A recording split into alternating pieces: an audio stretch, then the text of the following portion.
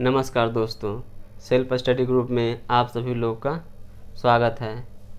जैसा कि हमने पिछले वीडियो में आप सभी लोगों को बताए थे कि हमारे टीम के तरफ़ से एक मुहिम चलाया जा रहा है, जिसके अंतर्गत आप सभी को 10 मॉडल पेपर 1000 समान ज्ञान के प्रश्न 1000 समान विज्ञान के प्रश्न 500 पेट्रोल एवं डीजल इंजन के प्रश्न 200 यातायात एवं परिवहन के प्रश्न 200 समान हिंदी के प्रश्न और सौ समान इंग्लिश के प्रश्न देने की बात कही गई थी। उन्हीं सब सारी सुविधाओं को ख्याल में रखते हुए आज हम लोग समान विज्ञान के 25 अति महत्वपूर्ण के साथ आपके बीच उपस्थित हैं।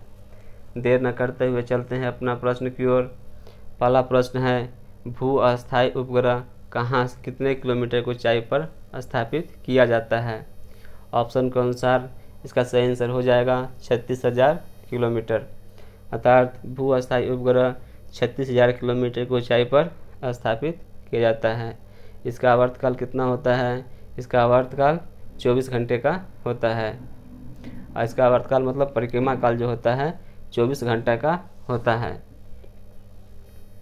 अब नेक्स्ट क्वेश्चन को चलते हैं। पृथ्वी से किसी वस्तु को कितना स्पीड से फेंका जाए कि वह गुरुत्वीय क्षेत्र को पार कर जाए? ऑप्शन के अनुसार इसका सही आंसर हो जाएगा। 11.2 किलोमीटर पर सेकेंड। साथियों, प्रश्न पढ़े जाने के पाँच सेकेंड बाद हम इसे सही जवाब टिक करेंगे। उसके बीच आप सभी अपना सही आंसर ध्यान रखेंगे और इससे मिलान करेंगे। नेक्स्ट क्वेश्चन को चलते हैं हम लोग। अपेक्षित घनत्व किसके द्वारा मापा जाता है? बताइए, अपेक्षित घनत्व किसके द्वारा मापा जाता है?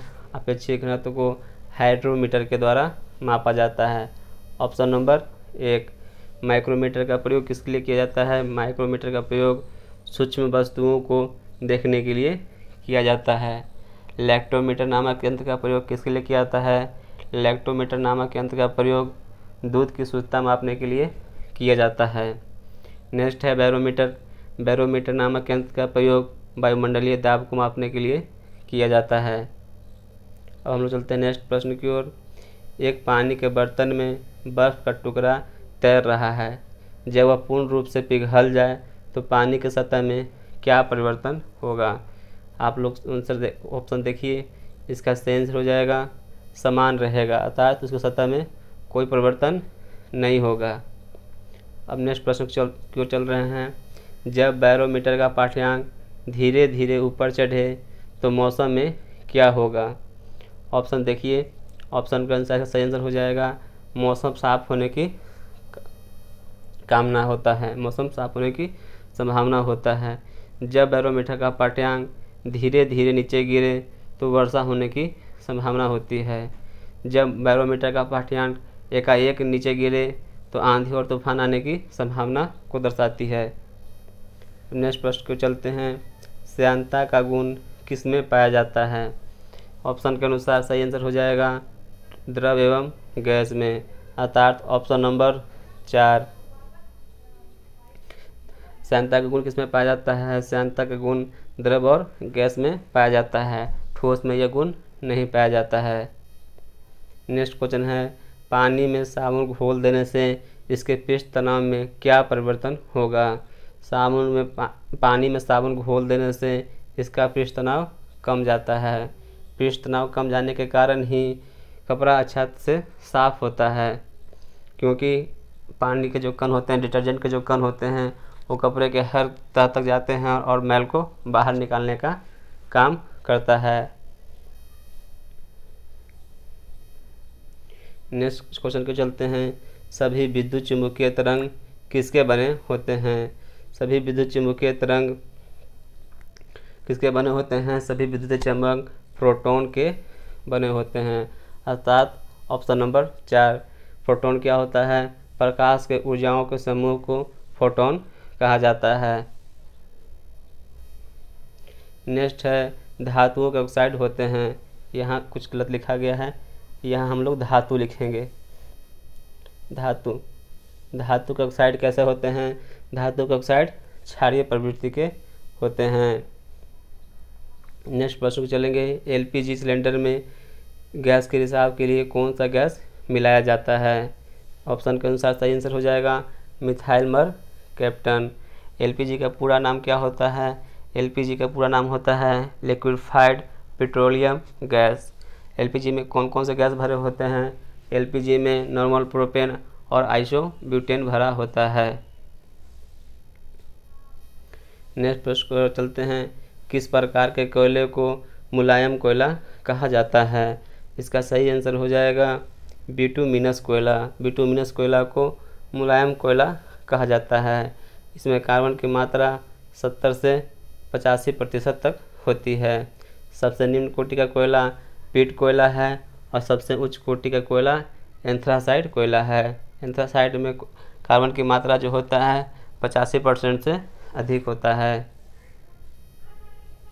नेक्स्ट क्वेश्चन को चलते हैं। कवक की कोशिका भित्ति किसकी बनी होती है?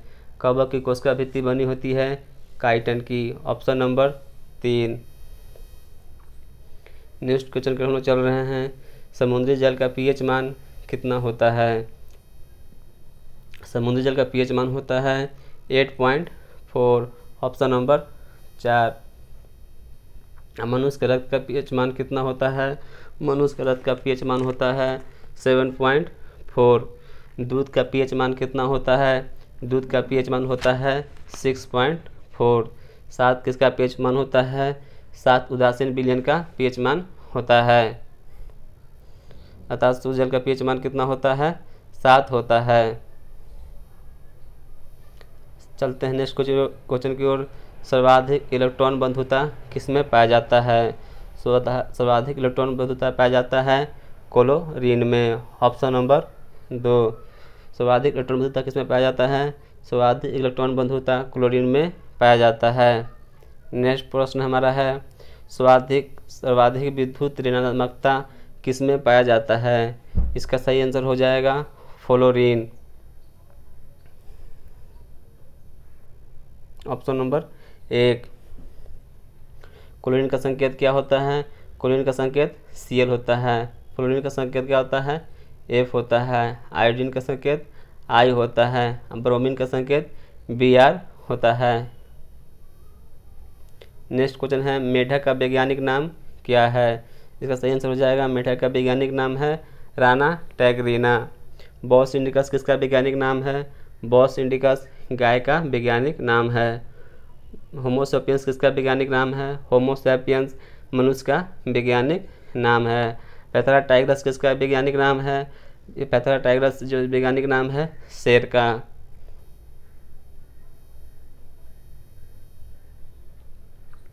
मरकरी का संकेत क्या होता है? इसका सही हो जाएगा, मरकरी का संकेत होता है एच जी एन किसका संकेत होता है? एन जो संकेत होता है सोडियम का होता है। ए जी किसका संकेत होता है? ए जी चांदी का संकेत होता है।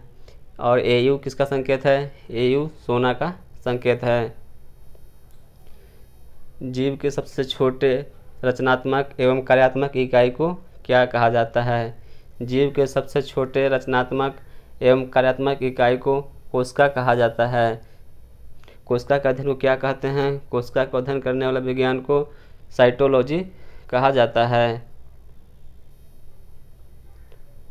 नेक्स्ट क्वेश्चन हमारे है, मनुष्य में कितना जोड़ा गुणसूत्र पाया जाता है? मनुष्य के शरीर में तेईस जोड़ा गुणसूत्र पाया जाता है। अर्थात गुणसूत्र की संख्या कितनी होती है? छियालीस या तेईस जोड़ा भी बोल सकते हैं। नेक्स्ट प्रश्न हमारा है टमाटर किस वर्णक के कारण लाल होता है? टमाटर लाइकोपिन की उपस्थिति के कारण लाल होता है। विटामिन किसमें पाया जाता है? विटामिन नामक वर्णक चुकंदर में पाया जाता है। कैरोटीन किसमें पाया जाता है? कैरोटीन नामक वर्णक गाजर में पाया जाता है। हेमोग्लोबिन किसमें पाया जाता है? हेमोग्लोबिन हमारे रक्त में पाया जाता है। नेक्स्ट क्वेश्चन है हमारा है, वनस्पति विज्ञान का सबसे बड़ा समूह कौन सा है? वनस्पति विज्ञान का सबसे बड़ा समूह है थायोफाइटा। ऑप्शन नंबर एक। नेक्स्ट क्वेश्चन है, मटर में मार्स रोग किसके कमी के कारण होता है? मटर में मार्स रोग मैग्नीज की कमी के कारण होता है। ऑप्शन नंबर चार। नेक्स्ट हमारा प्रश्न है, जीव द्रव्य में जीव द्रव्य में ऑक्सीजन की मात्रा कितनी होती है? सही अवसर हो जाएगा, जीव द्रव्य में ऑक्सीजन की मात्रा होता है छिहत्तर प्रतिशत। जीवद्रव में ऑक्सीजन के अलावा 10.5 परसेंट कार्बन डाइ कार्बन और 10 परसेंट हाइड्रोजन और 2.5 परसेंट अन्य तत्व भी पाए जाते हैं। नेक्स्ट प्रश्न है, एक वयस्क मनुष्य में कितना लीटर रक्त होता है? एक वयस्क मनुष्य में पाँच से छः लीटर रक्त होता है। मनुष्य को सर्वाधिक मात्रा में क्या पाया जाता है? मनुष्य के शरीर में सर्वाधिक मात्रा में पाया जाता है जल। नेक्स्ट है, हमारे शरीर में सर्वाधिक ऊर्जा का स्रोत क्या है? मनुष्य के शरीर में सर्वाधिक ऊर्जा का स्रोत है कार्बोहाइड्रेट। कार्बोहाइड्रेट के द्वारा 50 से 60 परसेंट तक ऊर्जा की आपूर्ति किया जाता है। धन्यवाद साथियों, इसी प्रकार के महत्वपूर्ण जानकारी के लिए हमारे चैनल से जुड़े रहिए। मिलते हैं नेक्स्ट वीडियो में। धन्यवाद गुड बाय।